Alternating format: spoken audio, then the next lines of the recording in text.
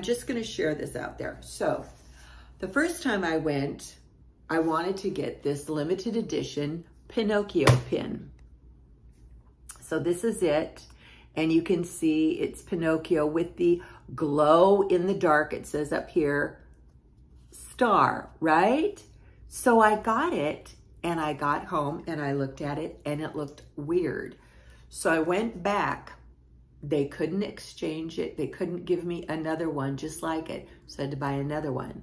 But already, immediately, you can see the difference because this star actually does glow and this one is much more dull, as you can see.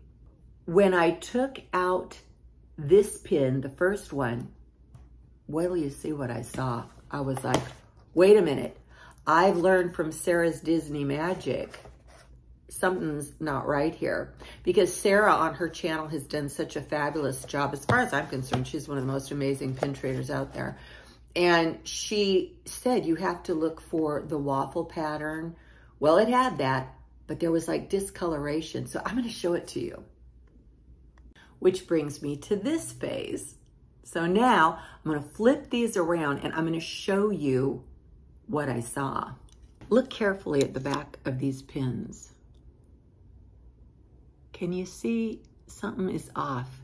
This one, it looks like it's been brushed in the back since these were just released. And I'm going to trade this, switch these. So if you think it's the lighting, it's not. This one, which is over here, this one is very dull. And this one, as you can see, is not. This is shiny. The writing is even. The waffle pattern's fine. The waffle pattern is fine in this, but it's so dull on the back. So then I flipped it around to the front and I tell you, there you go. There's a difference. Look at this. See how it's very flat and even. The enamel is completely flat. There's no ripples, nothing. You come over here, and when you look at those stars, there are ripples in that. And I wish you could see it even closer, like hold it in your hand. You would see there are like ripples in that blue twinkling sky. Plus, look at the star. It's completely dull. Look at this star. It's practically glowing just by itself without even being on any, under any light. So I had to go back Pin HQ because they're my reliable source for anything pins. And I took them in and I found out that they're both legit pins. They were just released this month, but this one was uh, screwed up in the production line. And the nicest gentleman told me there that it should have been scrapped, but they didn't scrap it. They boxed it. And I understood. I didn't give the cast member a hard time when she said she couldn't exchange it for another one. And I just went ahead and bought another one because, well, there was a long line. And then also, um, you know, it's not in, in their hands. I don't think it is. I think it's, you know, management maybe tells them that they can't do that. So they're just following orders. Life's too short, didn't want to hassle it. So I just bought another one for my collection, but I'm keeping both. so I can talk about this. If I ever decide to trade it, I can show whoever gets these. I might even throw it in with it. Who knows? But yeah, conversation piece for sure.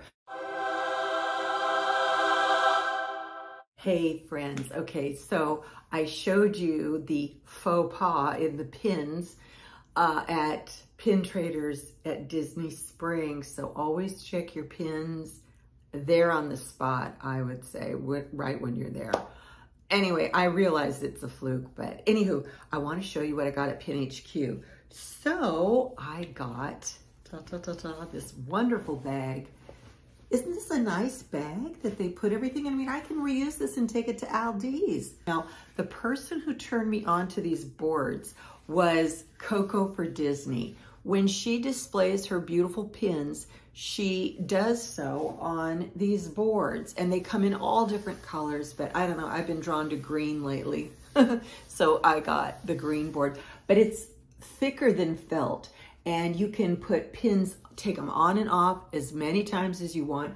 You get two in a package and I'm going to measure it for you right now.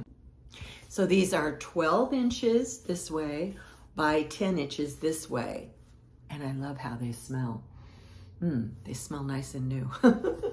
I finally got a display board because I always keep my pins inside like a, it looks like a suitcase and it, it's safe. It's very safe. I got it on Amazon. However, I want to display my pins, especially the really pretty ones that I've, you know, paid a lot for. I want to show those off. So I want to hang this in my room. I know right where I'm going to hang this. And so I got this, and this is 20 and a half inches by a foot across. And so it's, I'll be able to put a lot of pins on this, but I really like these and they sell these. This was $20. I think that's a really phenomenal price. It has a really nice cord on the top. It's very thick. It's not gonna fall apart. Really well made.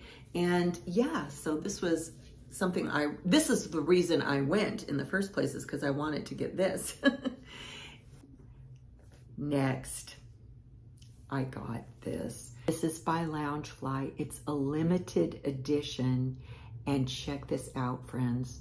One minute you see beautiful Snow White in the forest with her little bird friends. And then you flip it this way and it's the apple. You can see the apple. So now this was a limited edition of 1200. So I love this. I had to get this. So yeah, that's going on my board.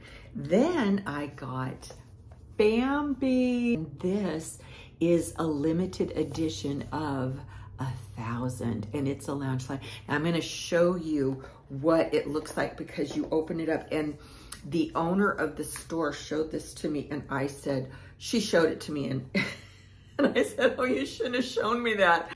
So here it is, and this is Bambi. You can see it's written exactly like the script from the film. Classic, such a Walt Disney classic. And then you open it up and look at that inside. It tells the story and it's just so precious. I mean, it looks just like the art inside a classic book. So I had to get this. I just, yeah, it was calling my name. And the Snow White pin has the same backing, I'm sure, because it's the same line of pins, but it's crowns. You see those crowns? And then it says Disney, it's stamped Disney. Pin backings, grippers, whatever you want to call them. But can you see that crown? In there, embossed in there, and um, the waffle pattern with that. So yeah, I, I succumbed. I, I had to, I had to get this. So I don't know if I should say this or not, but because I purchased quite a bit, they gave me these. They threw those in there. It was so nice of them. This is made of the same material as this, as the pin boards, the PinFolio boards. So, and this is three and a half inches by five inches. So say I'm going to the parks like I do regularly, I can just put some of my favorite pins on there and, you know, see if I want to trade them. So yeah, it was really nice. So friends, thank you for watching. Please click like and subscribe. It helps this old lady's algorithm. And I hope you have a really wonderful week. I'm going to be filming live in the parks next week. Okay. Thanks for watching.